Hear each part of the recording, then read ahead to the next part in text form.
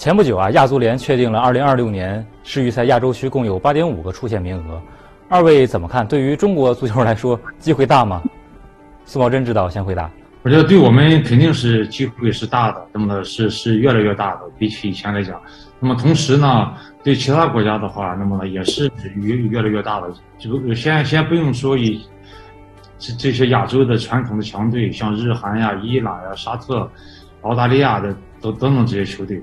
呃，那么呢，对于其他亚洲二流、三流的这这这些国家，中国呀，你包括刚才谈到的这个，呃，东南亚，你像这个泰国、越南、马来西亚、西亚，你包括这个约旦啊、叙利亚，呃，卡塔尔，呃，这个巴林等等这些球队，然后呢，你包括东亚还有朝鲜，对其他其他的国家的话，也是有更大的机会了。那么呢，因此呢，这种呃竞争的。程度呢？我觉得不比，呃，以前少。从从这个方面来看呢，就是我们需要，呃，这个更多的努力啊。那么竞争会越来越激烈。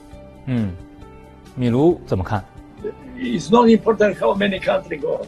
You know, our time, the the the China finish first in the group without without the best qualification, the World Cup. This is incredible, so exciting. But now, what I think. You need to prepare the good. Do not think the opponent. Let them to think what they need to do, but you need to prepare young player.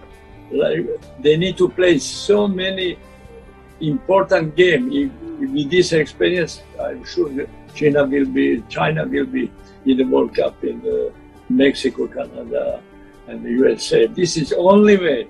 Competition, good training, to believe in yourself, to support everybody. I'm sure China can be in the in the World Cup.